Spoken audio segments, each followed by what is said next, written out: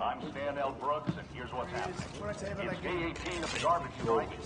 10,000 tons of garbage piling up every day. Even the nicest sections of the city are looking like slums.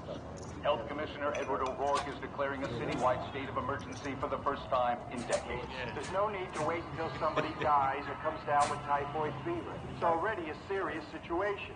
It's something that affects almost everyone in the city, no matter who they are or where they live. You can't go down no, no one avenue without seeing nothing but garbage and rats. It's starting to affect my business when customers can't get in here because of the garbage situation. I'm not out there long to smell it, but I think to look at it, it's terrible. It don't affect me except for the, the very bad smell here. It's horrific. It's a mess. I've been in this country for 50 years and I've never seen anything like it. What is this world coming to?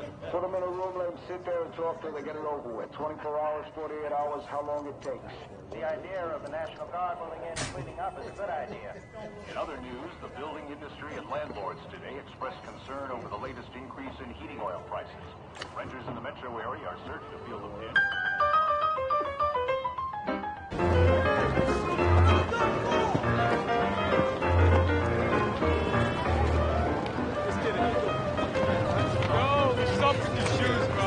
You're gonna be a clown. At least you can be a good one. You know that, right?